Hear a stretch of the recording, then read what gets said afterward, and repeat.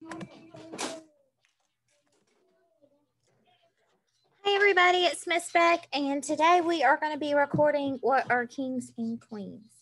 Today we're going to learn about the basic facts about kings and queens.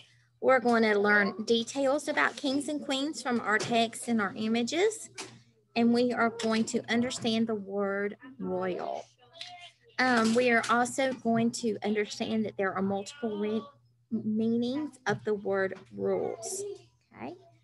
We're going to draw and discuss an illustration about kings and queens. Are you ready?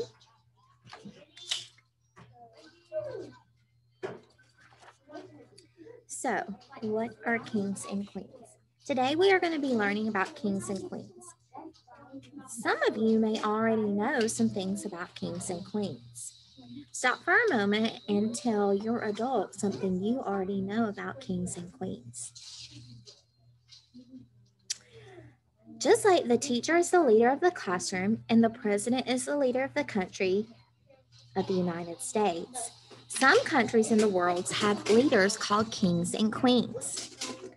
Kings and queens are different leaders from teachers or presidents because they are not hired or elected. Instead, they are born into special families called royal families. A king is a man from a royal family who is the leader of a country. A queen is a woman from a royal family who is the leader of a country. Kings and queens have children, and the children are called princes and princesses. And one day they may grow up to become the king or queen.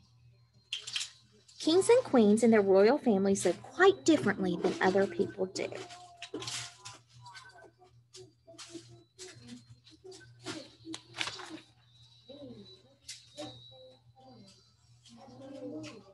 So today we're going to talk about what are kings and queens. And I'm going to share my screen with you. And I'm going to show you a very, very neat thing. You're going to love it.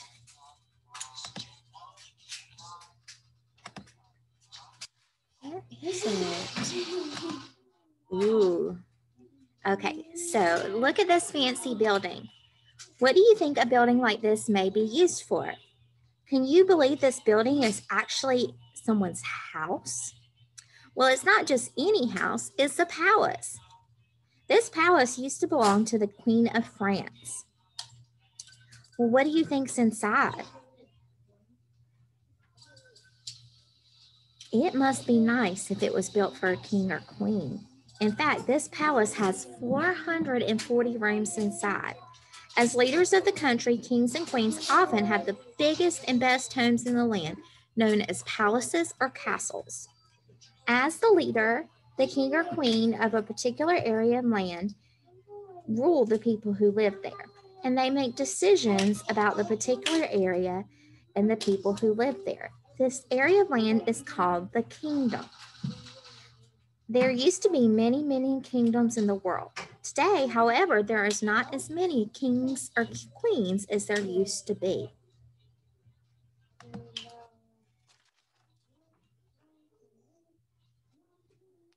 About this picture. Who do you think this picture might be? This is actually a picture of King Richard II and the saying is, it's good to be king. That's an old saying. If you look at this king, whose name was King Richard II of England, you will begin to get an idea of why this holds true. He was the king of England. And if you walked into a palace in England hundreds of years ago and saw this person, you would not have any trouble guessing he was the king. He was the most powerful person in the kingdom and he always got the best of everything the best houses, the best clothing, the best food. Kings did not have to say please and thank you, and they did not even have to dress themselves. They had servants to do that for them. Servants are men or women who are hired to take care of the king and queen as well as their land. Pretty much everything a king or queen touched or owned was called royal. If something is royal, it belongs to a king or queen. The soft, fluffy, fluffy robes King Richard II wore were his royal clothing. He drank from a royal cup and he only hang, hung out with royal people, the king, the queen, or someone in the royal family. The daughter, the prince, the princess, or the prince were allowed to use only the royal things. King Richard II is holding two things in this picture. In one hand, he is holding a royal orb, and in another, he is holding a royal scepter. These were both ceremonial objects or things that the king wore to remind people that he was in charge. That hat he's wearing is called a crown. That's no ordinary hat. Crowns were usually made of some kind of precious metal like gold or silver and decorated with fancy jewels like rubies and emeralds and sapphires. These jewels were called the crown jewels. The scepter and the orb, the crown was like an important symbol of the king's power. A symbol is something that represents or stands for something else. When people saw the king's crown, they knew that the person who wore it was powerful and important.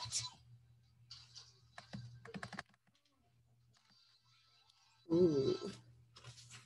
Here's a close-up picture of a crown. It's made of gold and loaded with fancy pearls and other jewels. A hat like this would not be good for keeping the sun out of your eyes, and it would not be very good for keeping your head warm. But if you were wearing it, it meant that you were the king or queen, the royal person of the kingdom, and you were the royal leader of the kingdom.